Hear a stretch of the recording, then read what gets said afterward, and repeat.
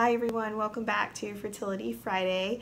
In this video we'll be talking about egg freezing and specifically we'll start off talking about some general information on reproductive potential, what egg freezing is, what the process involves, what to expect when you come back and actually want to use these eggs, and also some common questions that we see.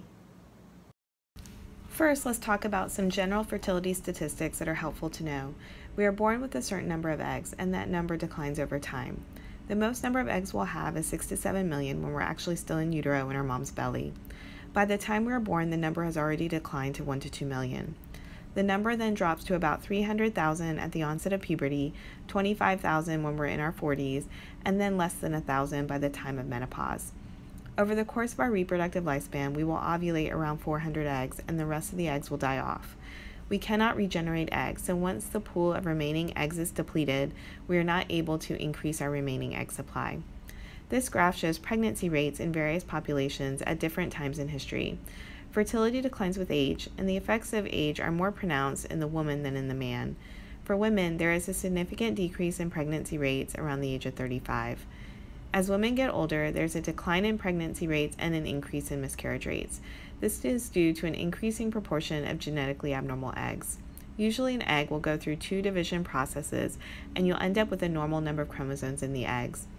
As we become older, the chromosomes don't divide properly, and you end up with an abnormal number of chromosomes in the egg. If the egg were to fertilize, you end up with no pregnancy, miscarriage, or genetically abnormal offspring such as Down syndrome. According to the National Vital Statistics, women have continued to delay having children over the last 50 years. There are many reasons for this, ranging from not having found the right partner to pursuing career or educational goals, or not being ready to start a family at that time. Egg freezing is the process of cooling eggs to sub zero temperatures to preserve reproductive potential. This technology is currently our best option that allows women the opportunity to have biological children later in life, but there are limitations. First is that it is not a guarantee at having a biological child. It is an option that gives us some control over increasing the chances of having biological children in our more advanced years, which we did not have before. Until 2012, egg freezing was considered experimental. However, data over the past decade and a half has been reassuring in terms of safety of the process, and therefore it is no longer considered experimental. The process involves undergoing the process of in vitro fertilization, or IVF. IVF involves taking medication to stimulate the ovaries to produce multiple mature eggs, then undergoing a minor surgical procedure called an egg retrieval to remove those eggs. Then the mature eggs will then be frozen for future use. Previously, eggs and embryos were frozen with a method called slow freeze. This allows freezing to occur at a slower rate. The advent of vitrification has revolutionized the technology of egg freezing. Vitrification is a process of using ultra rapid cooling to solidify the cells into a glass like state without the formation of ice crystals. Vitrification has been shown to significantly improve survival rates, pregnancy rates, and fertilization rates compared to the previously used slow freeze method. The process of egg freezing usually overall takes about two months to complete and involves four steps. At the initial consult, we'll do a history and physical exam and we'll assess your ovarian function with a blood test called an AMH and an ultrasound to look at the ovaries, in particular to look at the follicle count. This will tell us overall about ovarian reserve. In preparation for the cycle, you'll meet with a nurse to review medications and create a calendar. You'll also sign consents with your physician and go over expectations with the cycle based on the data we have, primarily age, AMH, and antral follicle count. The next step will be going through the active cycle of IVF. And then lastly, we will often meet with the patients after the cycle to review the outcome. In the active cycle, protocols may vary depending on the results of ovarian reserve, but typically we'll have patients do two to three weeks of birth control. This will help synchronize the follicles to grow together so that way we get the most mature eggs. Then patients will take injections to stimulate the ovaries to grow multiple follicles. There will be a separate injection to prevent ovulation because we don't want patients to ovulate during this process. We will monitor patients with blood work and ultrasound every two to three days, usually a total of four to five visits. We try and make these visits quick in the morning so we don't interfere with work days. Once the follicles reach the right size, we'll have the patient take another shot called a trigger shot. This is necessary for the last steps of egg maturation. We'll then schedule an egg retrieval 35 to 36 hours after the trigger shot. Here is one of the injections in action so you can get an idea of what the process is like. After removing the pen cap, use an alcohol wipe to wipe the outside of the pen. Place the needle on top of the pen. It has an outer cover and an inner cover. Remove the outer cover. Dial up your medication dose that your physician prescribed.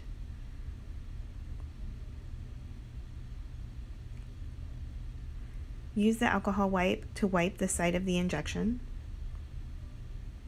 Remove the inner cover. Pinch the skin and inject. You'll inject by pushing the button at the end of the pen. Wait five seconds before removing the needle. Apply pressure with gauze if needed. Place the outer cover back on the needle remove the needle, and dispose of the needle. The egg retrieval is scheduled, as I mentioned, 35 to 36 hours after the trigger. The egg retrieval is done under mild anesthesia with ultrasound guidance. There is a small needle guide above the ultrasound probe, and the needle will be advanced through the needle guide. The needle will rest above the ultrasound probe until we get to the back of the vaginal wall. The needle will then go through the vaginal wall and into the ovary. There is a vacuum suction mechanism, and we will essentially aspirate the fluid and the eggs out of each follicle. Each follicle has a microscopic egg in it that we cannot see. The fluid and eggs will then travel through the tubing and into the test tube. The test tube will then be handed off to the embryologist who will identify the eggs.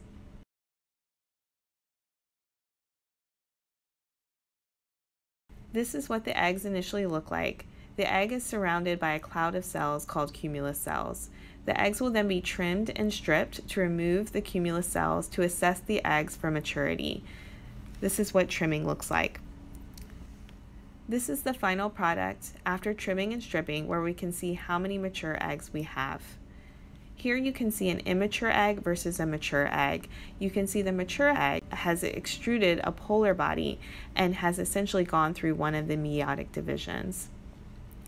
Vitrification, as I mentioned earlier, is a method of choice for freezing eggs and embryos.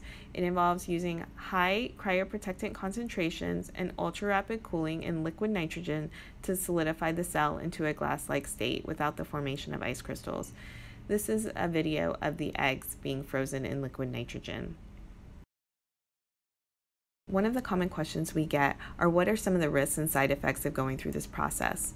Some include local bruising from the injection, bloating or abdominal discomfort, ovarian hyperstimulation syndrome, which is a risk when patients over respond to treatment and involves enlargement of the ovaries and fluid accumulation. Luckily, this is a very rare risk. The egg retrieval is a minor surgical procedure, so risks of bleeding and infection are possible. After the procedure, mild cramping and light bleeding are to be expected, but usually resolve within 24 hours. What is the ideal number of eggs to retrieve? The ideal number of eggs to be retrieved is really dependent on many factors the woman's age, her ovarian reserve, the number of children she would like to have, and the likelihood of live birth that she's comfortable with achieving. While more and more women are pursuing egg freezing, there still hasn't been enough time to allow a significant proportion of these women to come back, thaw their eggs, and attempt to have children to provide better estimates of success rates at various ages, particularly in older women. Having said that, there are a few studies reporting prediction models that can provide some guidance on the chance of having a live birth based on the woman's age at the time of egg retrieval and the number of mature eggs retrieved. This retrospective study reported prediction models for women who had undergone egg freezing for various indications. To briefly summarize, freezing 15 to 20 mature eggs in women under the age of 38 gave them approximately 70 to 80% chance of having at least one live birth. These models can provide patients an idea of probability of live birth so that we can decide at the end of the cycle if our goals were met or if the patient would want to consider another IVF cycle to obtain more eggs. What happens when we're ready to use these eggs? Depending on your age and ovarian reserve, Patients can consider trying to conceive on their own, assuming no other infertility factors are present and the cycles are regular. It's still good to consult with your physician on how long you should try to conceive based on your age and other factors. If you decide to use the eggs, the eggs will then undergo a thaw process. After that, the eggs will undergo ICSI, which stands for intracytoplasmic sperm injection. This is the process of injecting the sperm directly into the egg. This is recommended for two reasons. First, the cumulus cells had previously been removed, and this reduces fertilization rates by standard insemination methods. Second, the outer shell of the egg becomes hard after going through a freeze thaw process, and so we're concerned about the sperm's ability to penetrate the egg on its own. So we want to assist the sperm by directly injecting it into the egg. The embryo will then grow for five to six days in the lab. There is the option to biopsy the embryo to determine if it's genetically normal. This will help us increase pregnancy rates and decrease miscarriage rates. We will then put the embryo back into the uterus at a later time, and this is called an embryo transfer. When is the best time to freeze eggs?